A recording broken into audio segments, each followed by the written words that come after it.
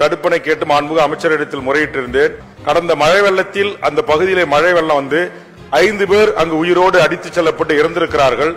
தடுப்பணை உடைஞ்சு அஞ்சு பேர் அடிச்சுக்கிட்டு போயிடுச்சுன்னா ஒரு ஆளை ஒன்ன கூட அடிச்சுட்டு போகாது. ஆனா அஞ்சு பேர் அடிச்சுட்டு போயிடுச்சு சொல்றீங்க. பட் இருந்தாலும் அப்படி சொன்னாதான் அந்த வெயிட்டா இருக்குன்றதுக்காக.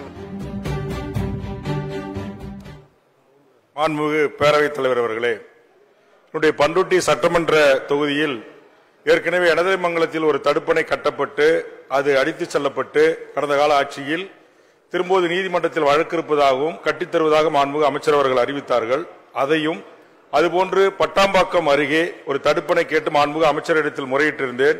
முதன்மை செயலாளர் அவர்களிடத்திலும் முறையிட்டிருந்தேன். இந்த ஆண்டு அறிவிப்பில் இடம்பெறும் என்று அவளோடு எதிர்பார்த்தேன். நான் அதை அவசியம் வலியுறுத்தி கேட்பதற்கான காரணம் கடந்த மழை வெள்ளத்தில் அந்த பகுதியிலே மழை வெள்ளம் வந்து ஐந்து பேர் அங்கு உயிரோடு அடித்துச் செல்லப்பட்டு இறந்திருக்கிறார்கள்.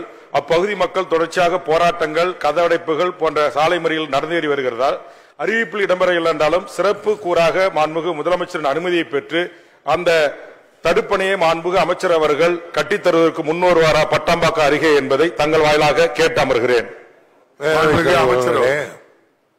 தடுப்பணை உடைஞ்சு அஞ்சு பேர் அடிச்சுக்கிட்டு போயிடுச்சுன்னா அது பெருசா அது ஆச்சரியமா இருக்கு. ஏன்னா தடுப்பணையில் எவ்வளவு தண்ணி நிற்கும் அது எவ்வளோன்னு எனக்கு தெரியும். ஒரு ஆளை ஒன்ன கூட அடிச்சுட்டு போகாது. ஆனா அஞ்சு பேர் அடிச்சுட்டு போயிடுச்சுன்னு சொல்றீங்க.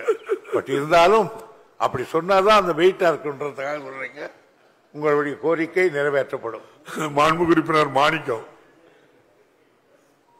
மாண்புமிகு பேரவைத் தலைவர் அவர்களே குளித்தலை தொகுதி காவேரி கரையில் மருதூர் பகுதியிலே ஒரு கதவணை அமைக்க வேண்டும் என்பது நீண்ட நாள் கோரிக்கை. அந்த கோரிக்கை நிறைவேற்ற தரும் என்று அறிவிக்கப்பட்டிருக்கின்றது. அந்த அறிவிப்பு எப்போது செயல்பாட்டுக்கு வரும்? அந்த பகுதியிலே ஒரு கதவணை அமைக்கும் பட்சத்தில் சுமார் ஆயிரக்கணக்கான ஏக்கர் நிலங்கள் குளித்தலை முசிறி பகுதியிலே நீராதாரம் பெருகும். ஆகவே முழுக்க முழுக்க விவசாயத்தை மட்டும் நம்பியிருக்கின்ற குளித்தலை மக்களுடைய நீண்ட நாள் கோரிக்கையை நிறைவேற்றி அந்த தொகுதி மக்களுடைய விவசாயிகளை நம்முடைய அமைச்சர்கள் காப்பாற்றுவார் என்பதை உங்களிடம் கேட்டு அமைகிறேன். மாண்புமிகு அமைச்சர் பேரவைத் தலைவர் அவர்களே பொதுவாக மாண்புமிகு உறுப்பினர்கள் என்னையும் சேர்த்தே சொல்லுகிறேன்.